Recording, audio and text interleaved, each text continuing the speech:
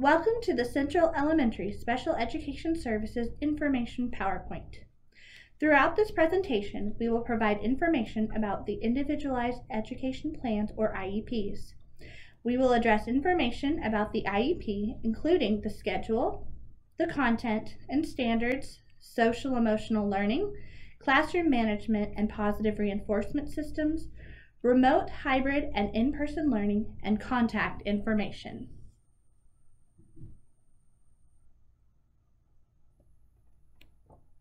My child doesn't have an IEP. How is this information useful to me?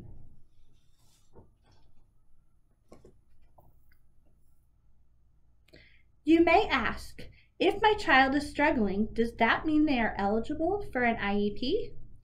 Contact your child's general education teacher to find out what interventions are being provided and for any additional questions on how to best support your child. You may ask, my doctor told me that my child needs an IEP. What do I do? If your doctor does recommend an IEP or an evaluation, it does not automatically mean your child is eligible for an IEP. Please contact Brandy Leggett or your child's teacher. We will likely set up a meeting and discuss your child's needs and determine next steps.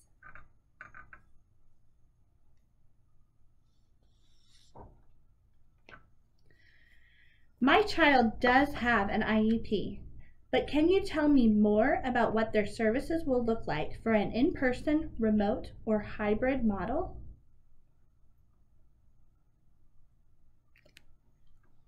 Special education schedules are based on a student's individualized education plan.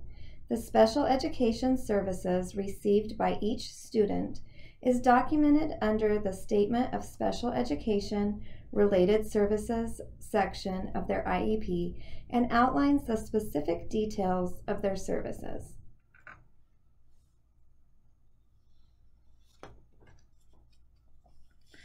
The special education content and standards are written as goals listed under the annual goals and benchmark or short-term objectives section of the IEP.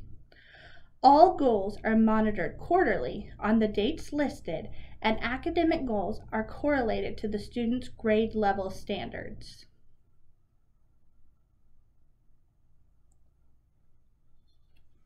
All students receive daily social and emotional learning opportunities within their general education classrooms.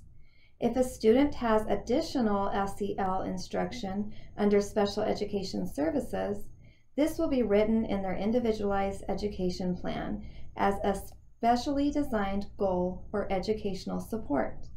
For more detail of their social and emotional learning, as well as any educational supports for a student's SEL needs, please contact the case manager.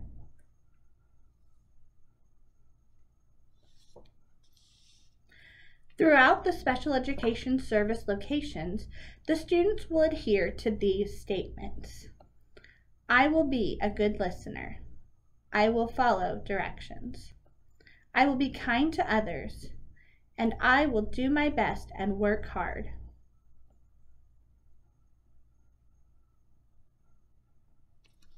In order to encourage our students to do their best and work hard, the service providers implement positive reinforcement systems. These may include token boards, positive notes home, setting goals, and ringing the bell at school. For students who demonstrate exceptional work and effort, they may be nominated for Principal Prize Patrol.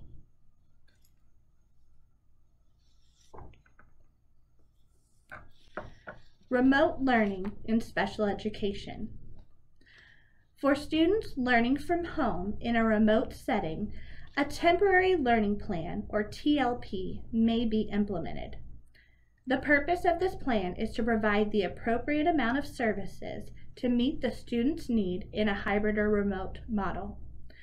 The special education team, along with the family, will collaborate to design a TLP to meet the educational needs of the student.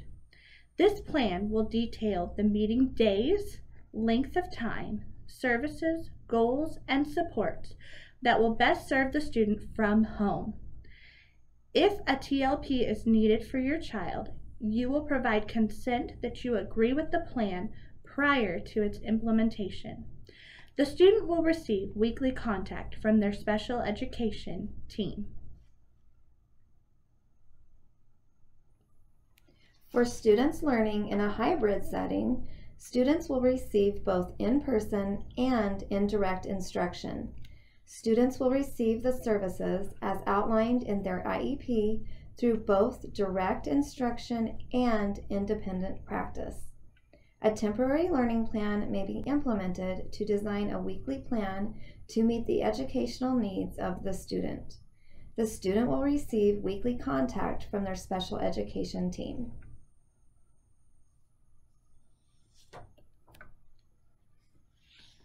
In-person learning in special education.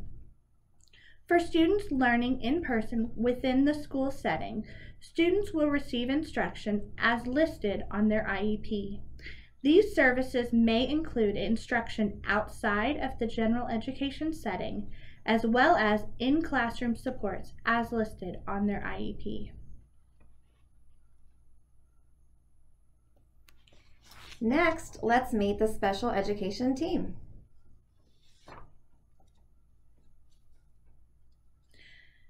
Mrs. Marlowe and Mrs. Hash are Central's resource teachers. To contact them, use the emails below.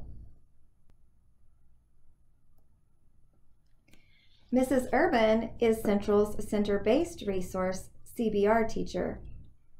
To contact her, please use the email below.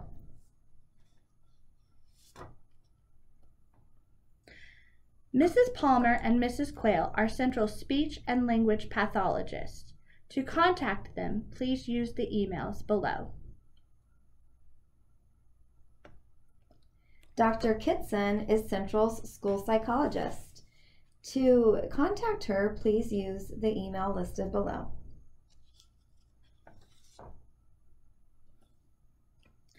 Mrs. Lorkey is Central's physical therapist, and Miss Stewart is the occupational therapist. To contact them, please use the email below. Mrs. Burnham is Central's social worker. To reach her, please use the email below.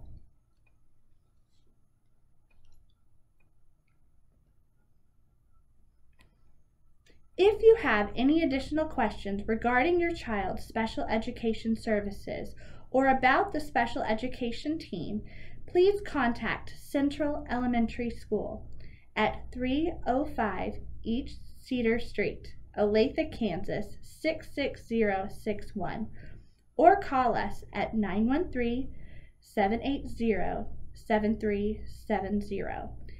We look forward to best serving your students' learning and supporting you and your family. Thank you.